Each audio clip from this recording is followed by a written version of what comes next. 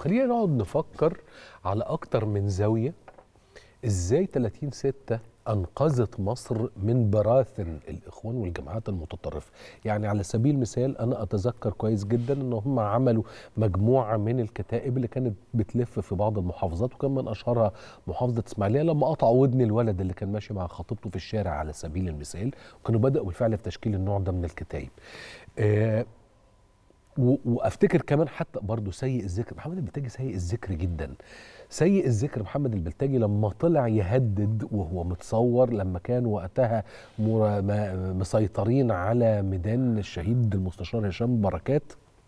عند جامع رابعة العدوية وقال إنه لو عاوزين اللي في سينا يتوقف علينا بإعادة مرسي للحكم أو على الجيش بإعادة مرسي للحكم آه. مرة تانية مرة. فأدان نفسه لأنه غبي يعني بس دي آه. قصة لكن تعال نقعد نفكر كان هيبقى إيه شكل الشارع في مصر إيه شكل التلفزيون والصحافة في مصر إيه شكل الثقافة مع علاء عبد العزيز اللي كان وزير الثقافة بتاع الإخوان إيه شكل التموين اللي كانوا بيسرقوا فيه الدقيق ويدوه لتجار الإخوان يتاجروا بيه في السوق السوداء وموثق ومثبت برضه؟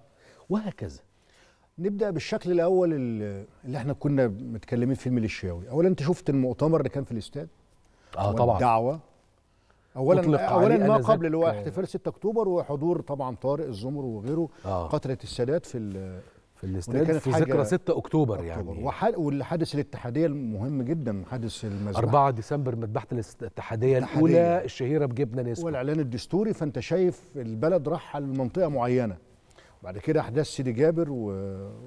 وأحداث وإلقاء الأطفال من فوق أسطح البنايات وأحداث القائد إبراهيم. فخلاص إحنا طيب. وفيكتور عمانويل. الحالة الميليشياوية دي أنت بتتشكل هنا جماعات أطلقت جماعات من السجون وأطلقت جماعات متنوعة بأشكال مختلفة سلفية جهادية حزمون بعد كده تلاقي أولاد حزم أبو إسماعيل. إيه حزموني وإيه أولاد أبو إسماعيل؟ وحركة طلاب الشريعة وحركة مش عارف ثوار من أجل وحركة تطبيق الشريعة اللي مش عارف لمين. حركات متنوعة ومختلفة. الحالة دي خلاص بتتشكل في طور التشكل بحيث أنت هتلاقي جماعات مختلفة. وكل جماعة فيما بعد خلي بالك هم كانوا في مرحلة واحدة في بوتقة واحدة وعلى مركب واحد. لكن فيما بعد هيتنافسوا مع بعض. وهتبدأ مذابح مش مذابح. ومعارك مع الدولة ولا مع الشعب ولا مع الجيش لا مع مع نفسهم هم كمان. يعني انت كنت هتشهد معارك في الشوارع معارك من نوع غريب جدا. دي اللي شاهدتها دول كتيرة. الصومال وشاهد أفغانستان هتشوفه في سوريا. في سوريا يمكن 120 فصيل. تخيل 120 فصيل. يعني آه إحنا دينا متابعين للحالة دي. استحالة إن أنا أقدر أحصي ما يجري كل يوم من هذه الفصائل. صعب جدا. عاوزة كتيبة تقعد بس في فصائل سوريا بس. الحالة دي كانت هتحصل في مصر. دي أول مشهد وأول سيناريو. حرس الثوري والحالة الميليشياوية دي من الجماعات. دي واحد. على الناحية الاقتصادية أنت جمعية تبدأ لحسن مالك. آه. خلاص هي بت- بتسيطر بدأت تسيطر على شركات و- وجابوا عملوا اجتماعات جمعية رجال أعمال خاصة بيهم ونبدأ نستقطب رجال الأعمال. ده بدأوا من 2000 و- وأواخر 2011 كمان. واشتغلوا خلاص. يبقى أنت الحالة الاقتصادية أنت شايف حالة احتكارية لشركات معينة بشكل معين والاقتصاد هنا ما فيش حتى رؤية. يعني أنت بتتكلم على يقول لك مشروع نهضة. لا ما فيش نهضة. ما فيش ما هو اعترفوا بعد كده قال لك ما فيش عندنا ال- لا هو أهم مشروع عندهم هم بيعملوا محلات بقالة. ما في يعني ده كان أكبر تصوراتهم الاقتصادية. هو شاطر ما هو خيرت الشاطر كان شاطر في قصة ال- البقالة. البهاله والنقابات هو فلوسه كلها هو حسن مالك من معارض الموبيليا ومعارض والسلع استغلوا حالة السلع المعمرة. والكلام ده كلها وبعد كده راحوا عملوا شركات أوف شور وراحوا جنوب أفريقيا وراحوا الدول دي وعملوا شركات تانية كتير.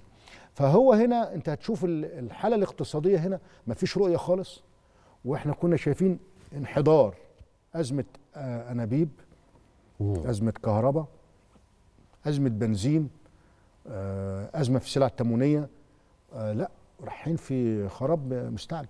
طيب. دي اتنين. الازمه السياسيه بقى شوف على الرؤية السياسية ما فيش رؤية سياسية.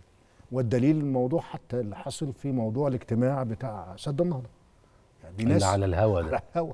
دي ناس م... متخلفين عقليا. ناس متخلفه عقليا. ما تعرفش حتى وفي الآخر يقول لك إحنا تعمدنا. عمدت تفسد علاقتي ب- ب- بقارة بالكامل. بقرب الكامل وهدد دول و... وحاجات زي كده. فأنت ما عندكش رؤية سياسية. وفي ذات الوقت تخبط.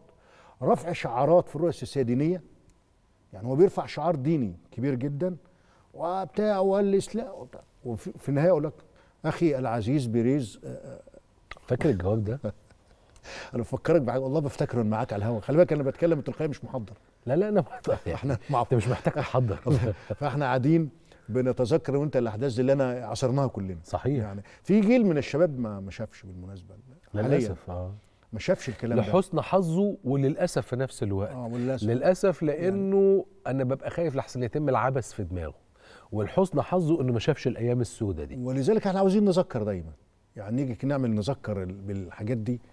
في أعمال درامية في عمل في برامج. صراحة مهم جدا للأجيال تفهم ما ما كان يجري.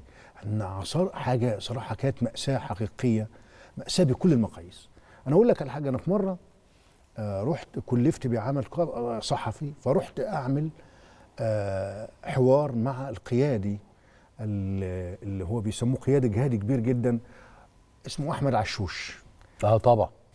فهو رجل من تنظيم طلائع الفتح مؤسسي السلفية الجهادية وهو بيقول لك أنا مؤسس آه، المؤسس الحقيقي لما يسمى الطليعة المقاتلة في مصر الطليعة. المجاهدة. طب ماشي يا سيدي.